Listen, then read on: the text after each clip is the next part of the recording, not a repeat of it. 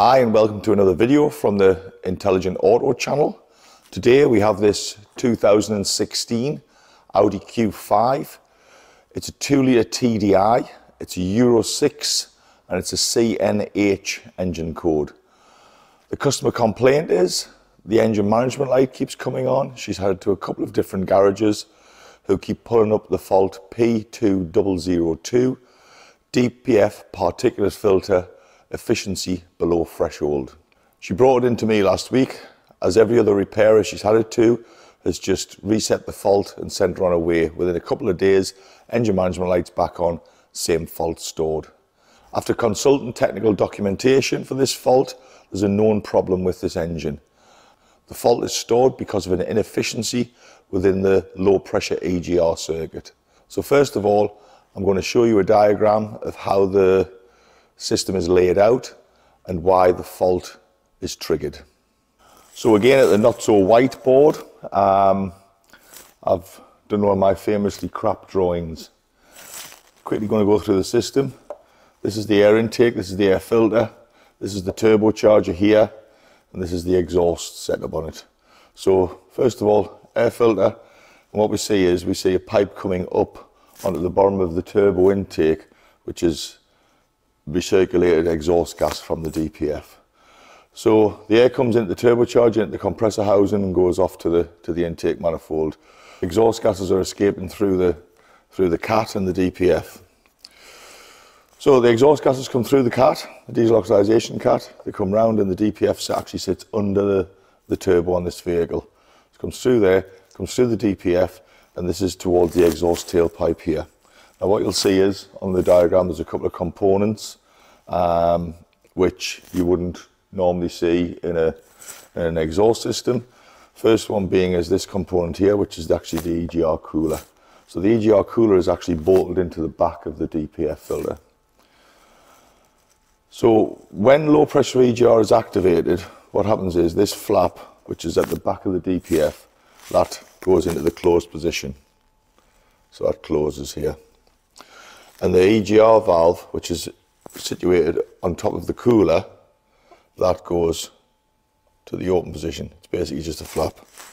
So the exhaust gases are coming through here, through the DPF, and basically because the outlet to the exhaust is blocked, they're forced up through the cooler and back into the air intake and recirculated, hence exhaust gas recirculation.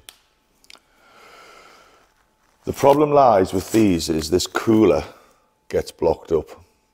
So when this EGR activation occurs, the exhaust gases can't pass through this cooler in any great quantity.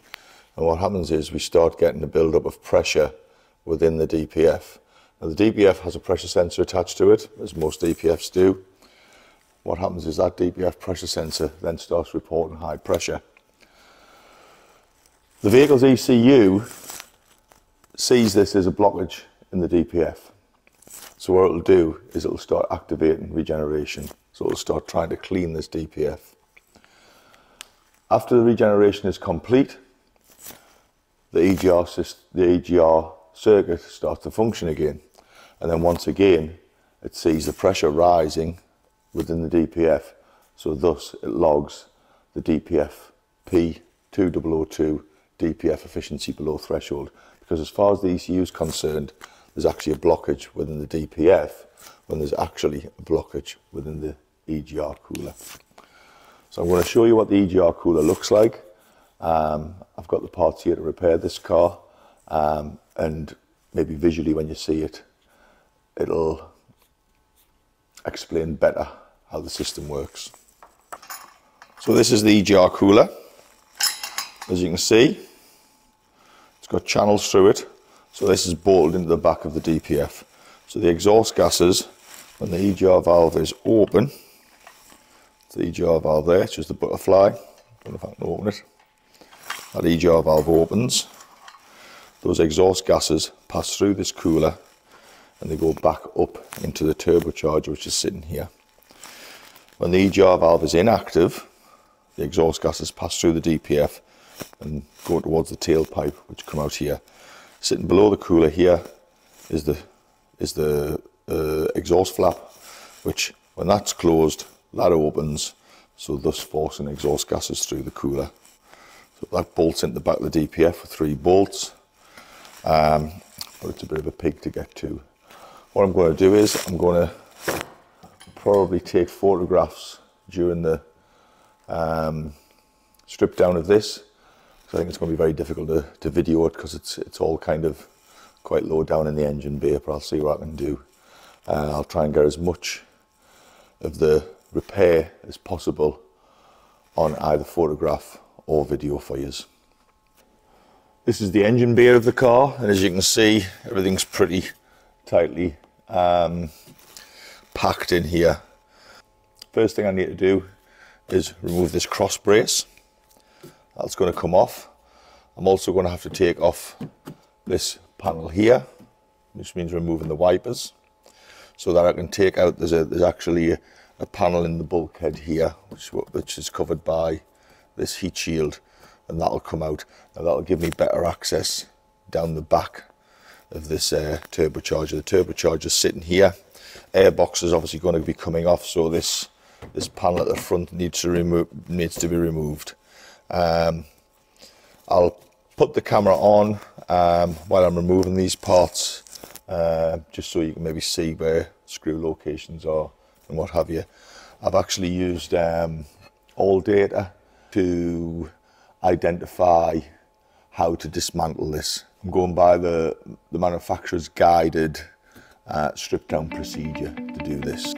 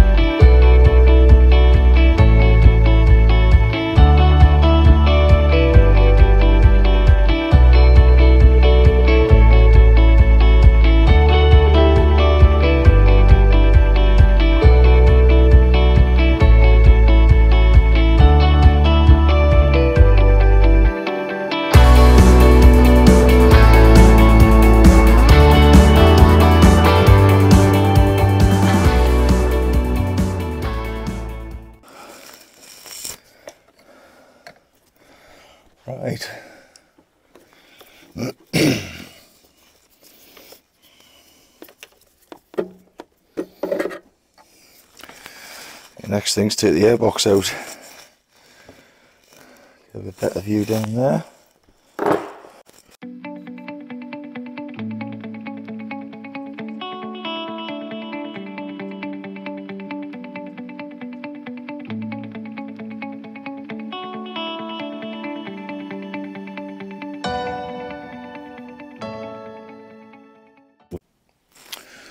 This is the Oxycat here. Got the DPF here. That's the exhaust coming out the DPF here. And then right up behind it, back here, is the cooler. So as you can see, it's a it's no mean feat to try and remove this. So I'm gonna crack on. The next thing I've got to do is disconnect these fuel pipes, get them out the way. Got to take this intake off. There's also a, a pipe coming around the back here, which is the, the turbo boost pipe. That needs removing to get better access down the back of here.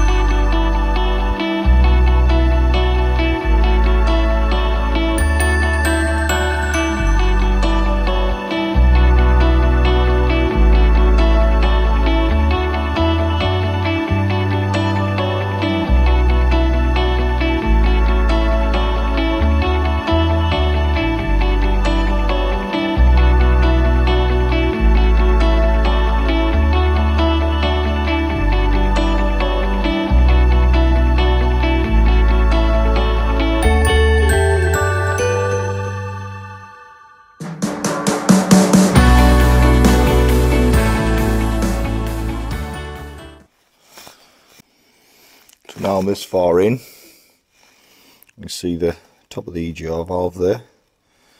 Um, so I'm going to have to keep stripping I think to get down to the cooler which is under the turbo. So we'll crack on. And there's the evidence we're looking for. The EGR valve removed. As you can see, it's quite a bit of contamination inside that cooler. See if I can get, you can see the back of the cooler there.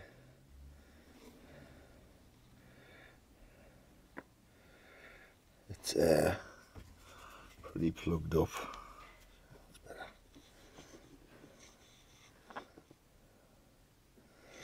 So, diagnosis was conclusive.